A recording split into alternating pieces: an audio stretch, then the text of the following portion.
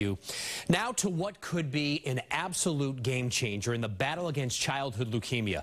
The FDA just approved a first of its kind treatment to fight cancer. Instead of replacing disease causing genes, the drug reprograms existing cells to go on the attack. It's a breakthrough that could eventually target other cancers as well. Julia McDonald is live at Dana-Farber tonight with much more. Juli?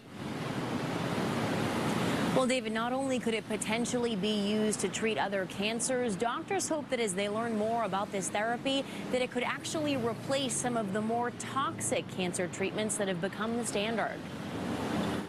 It's really an entirely new type of therapy, an entirely new way to fight cancer. New hope for kids with cancer who have no options left. That was Mitchell Carbon, who battled leukemia for years, only to be told it spread to his brain. Three years of fighting, all the sacrifices I made, it just seemed like it was all wasted. But a new CAR T cell therapy trial was his answered prayer. Here's how it works. A patient's T cells, or white blood cells that fight infections, are removed, sent to a lab, and genetically modified to recognize cancer cells.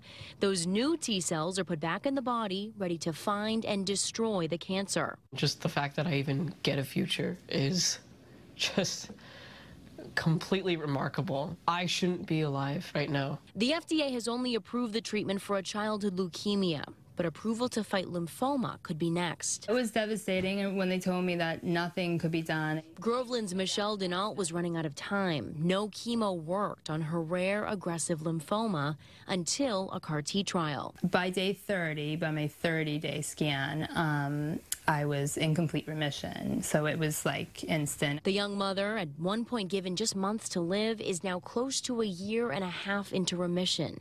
Happy, healthy, and chasing her busy little boy. My immune system just woke up and went into action. And yeah, for whatever reason, it couldn't before it. That, yeah, it was a game changer.